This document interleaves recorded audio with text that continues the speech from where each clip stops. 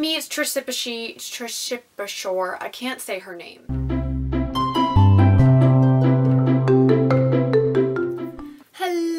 Sweet angels. It's your girl Jay and today I am here with my July wrap up for 2024. I read a total of 22 books this month so I already talked about my first 12 in part 1 of the wrap up so these are the next 10. If you're interested in the first part it is uploaded on my channel so check it out. But without further ado let us get started. The first book that I'm going to talk about is Getting with the Ghoul. This is by my friend Molly Likovich and I gave this a 4 out of 5 stars. This is the second book in her Sexy Sleepy Hollow series. This is the new novella that is coming out in September, so I am so, so excited for everybody to get their hands on it soon. But this takes place after Arletta has joined her lover, and it follows her best friend Samantha, who is finding it very difficult to cope with her trauma and depression ever since Arletta left. She makes the decision that she no longer wants to live, so she makes her way to the clock tower with the plan to jump, but there she meets a ghoul named Al who stops that jump and decides instead he is going to haunt her, and it's kind of their story. As always, I just love everything that Molly writes, and so when she asked me to read this novella, I obviously jumped on the chance. Al was such a fun character. He gives very much Beetlejuice-esque vibes. I think that right from the very first introduction, you can't help but fall in love with him. As the story progresses, you learn more about Samantha and the trauma that she has endured, and it is very heartbreaking,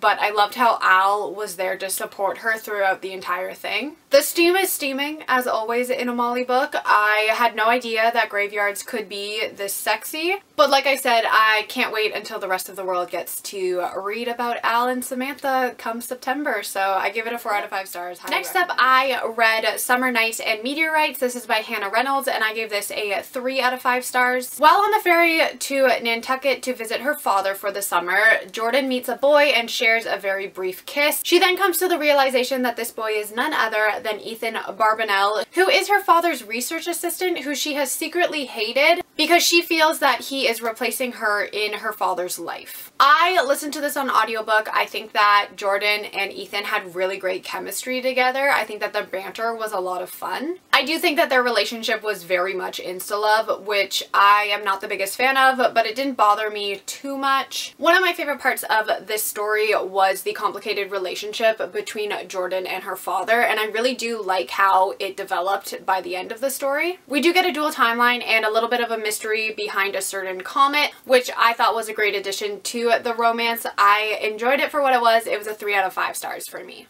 Next up, I read Everyone Who Can Forgive Me Is Dead by Jenny Hollander, and this one I gave a 3 out of 5 stars. Nine years ago, Charlie was a witness to a crime that left three students dead, and it is now deemed the Scarlet Christmas to the public. Charlie believes that she is more than just a witness in this crime, and so she has spent years trying to rebuild her life since that night.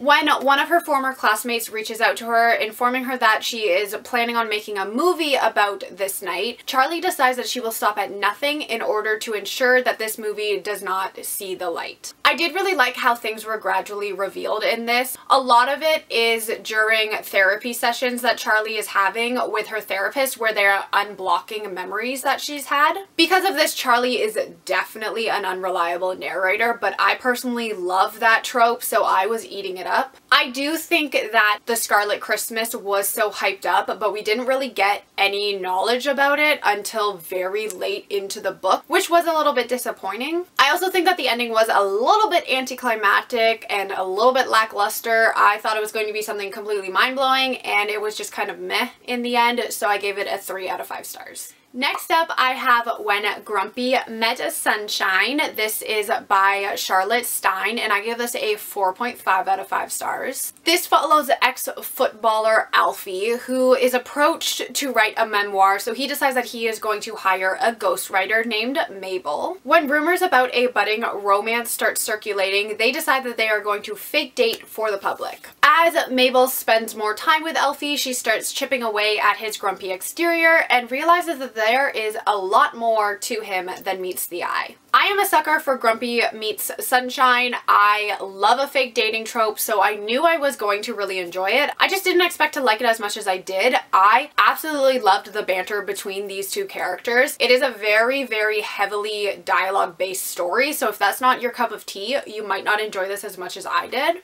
It was just so much fun to get to know both of these characters. Mabel is this little ball of sunshine. She has such a positive attitude and it bounces so well off of Alfie who is basically Roy Kent from Ted Lasso personified, which is probably why I loved his character so much. Their chemistry was just off the charts. I did not expect it to be as steamy as it was, but I really enjoyed this. I gave it a 4.5 out of 5 stars. Next up, I have A Study in Drowning by Ava Reid. I was a little bit disappointed in this. I ended up giving it a 3 out of 5 stars. This one follows Effy Sayre, who is the only woman in her architecture course at university, and she is more isolated after rumors about her and her professor start circulating. Her favorite novel is about the Fairy King, who Effy has been hallucinating since childhood. This book is the only thing that truly makes her feel sane. So when she gets the opportunity to redesign her favorite author's mansion, she jumps at the chance. But when she arrives, there is a rival student working on a project of his own. I think I went into this with such high expectations because this book is so hyped on booktube. I really, really wanted to love this, but unfortunately it just fell flat for me. I felt that it was so slow. It definitely dragged for me. I did finish it in one sitting, so I mean, it wasn't a bad book. I was intrigued in finding out what was going to happen, which is why I kept reading,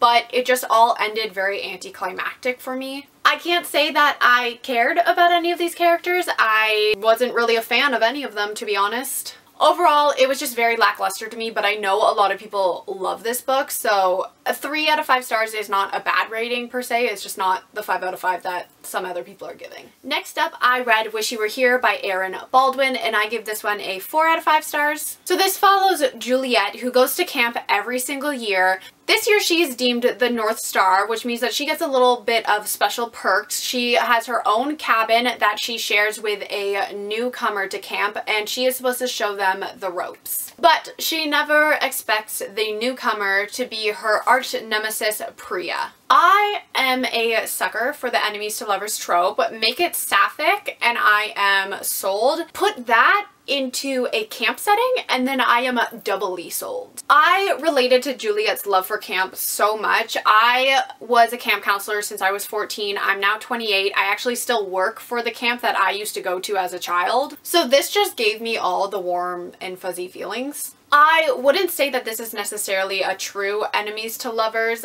They more so have a distaste for each other, but they're still very civil to one another because they have mutual friends. I loved watching them grow closer as the story progressed and realizing that they actually have a lot more in common than they originally thought. I do think that this book is more of a journey of self-discovery rather than a romance, but I enjoyed it nonetheless. I loved the epilogue. I think that it was a great conclusion to the story. I do recommend this one. It was a lot of fun. I give it a 4 out of 5 stars. Next up, I read Playing for Keeps by Jennifer Dugan, and I give this a 3.5 out of 5 stars. This follows June, who is a star pitcher. She has recently been injured, but she tries to keep that hidden because she hopes to be recruited for the college league. Ivy has dreamed of officiating at a professional level, and the first time she meets June, she actually throws her out of the game. As they spend more time together, they realize that their chemistry is undeniable the only issue is that it is against the league rules for an umpire to date a player. So they must keep their growing attraction secret and it's the story of that. I was really excited that this was a rivals to enemies sapphic romance. I do think that it definitely should not have been advertised as a rivals to lovers because they literally talk to each other three times and then they are declaring that they like each other. So it's definitely not a rivals to lovers if you ask me. Which is fine, but don't advertise it as a rivals to lovers. Advertise it as insta-love. I think that the author could have played so much more into the will they won't they relationship since their relationship would be against league rules. This also heavily incorporates the miscommunication trope between Ivy, June, and both of their families, which I am not the biggest fan of. This was a heavier book than I anticipated. I did think that it was going to be a fluffy contemporary romance, but there was a lot of talk about family loss and trauma rather than the romance as a whole. I think that I would have enjoyed a focus on the romance more because I think a lot of their connection was not shown to us. It was just kind of like, yeah, now they like each other. But I did like Ivy and June together. I think that they were cute, so I gave it a 3.5 out of 5 stars. Next up, we have Chronically Dolores. This is by Maya Van Wagenen, and I gave this a 3 out of 5 stars. This follows Dolores, who suffers from a bladder condition called interstitial cystitis, which caused her to wet herself at school. This causes her to be ostracized and made fun of leading up to her freshman year of high school. She then meets a girl named Terp. I honestly cannot say her full name. My mouth does not do it. I'm sorry. This is her real name. I will put it up on the screen. But she has autism and Dolores is convinced that she can help her gain her friendship back with Shay. I listened to this on audiobook. I think that that was definitely the way to go with this story for me. It took a very long time for me to get into the story as I felt that it was dragging quite a bit. At the beginning of each chapter, Dolores speaks with a priest at a confessional, and I think that that was a really fun, cute way to incorporate and introduce things into the story. Terp was definitely my favorite part of this story. I think that she was such an amazing friend to Dolores and taught her a lot of lessons that she needed to learn.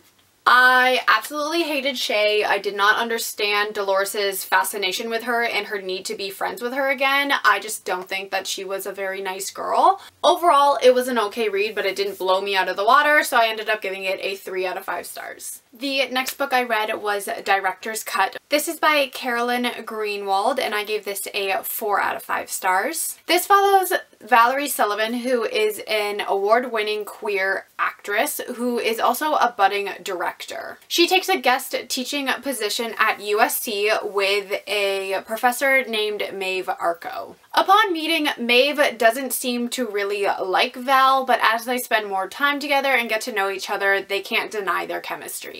I listened to this one on audiobook. I think that it had some very interesting conversations about the film industry and queer identifying people within it. It also talks a lot about biphobia and homophobia. There are also some discussions about mental health such as anxiety and depression that I think were really well done. This is marketed as an enemies to lovers romance. The enemies portion of it is done so quickly that I don't know if I would personally call it that, but I do think that it was a very fun sapphic romance. Val was hard to like at the beginning. She is very complex and layered as you get to know her as a character. She is extremely insecure about her place in the world and fueled by anxiety. I think that she caused a lot of issues for herself that could have been easily avoided if she had just had one conversation with Maeve. But she did go through a lot of character development by the end of the story and I did like her character at the end. I think that Maeve was a very good match for Val. I think that she was very level-headed and had the ability to calm down Val's anxious mind. The biggest complaint that I do have though is that I wish that this had been a dual point of view so that we were able to see inside of Maeve's head. I think that that would have really helped push the story along, especially during the parts where she apparently hated Val, which it was so obvious once they started talking that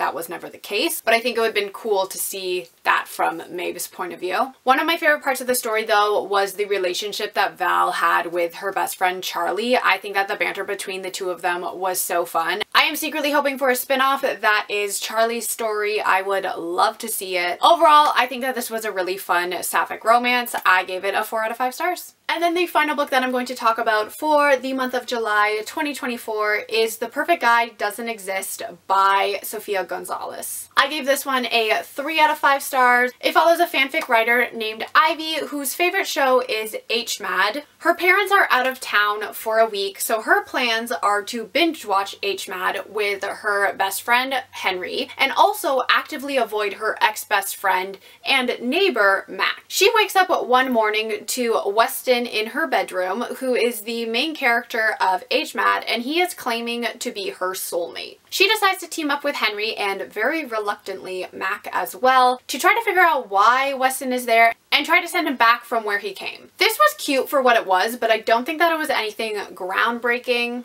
I think that this is definitely geared towards the younger audience of YA. I liked how this poked fun at commonly used tropes in books. I think that it was very well executed in that front. I think that the conversation surrounding the romanticization of these tropes and how that may not necessarily be a good thing in the real world was really well done. I liked the characters for the most part. I think that Ivy was interesting. I think that she was very sweet uh, but very anxiety filled. I wasn't the biggest fan of Mac, I think that she was kind of a shitty human being to Ivy when their friendship was deteriorating. I can't say that I was necessarily rooting for their romance, but I didn't end up hating it by the end of the story. Weston was really funny. I think that he was very quirky because of the tropes that he was emulating at the time, and I did find myself giggling at him a few times. My favorite was definitely Henry, though. I think that he was the highlight of the book for me. He was just so sarcastic and funny, and I really enjoyed his character. So overall, like I said, it was an okay read for what it was, but nothing completely groundbreaking, so I gave it a 3 out of 5 stars. Alright everybody, so those were the last 10 books that I read for the month of July 2024. If you are interested in the first 12 that I read, that is up on my channel now, so check it out if you want. Let me know down below if you have read any of these books and what you thought of them, and I will see you all in my next video. Goodbye!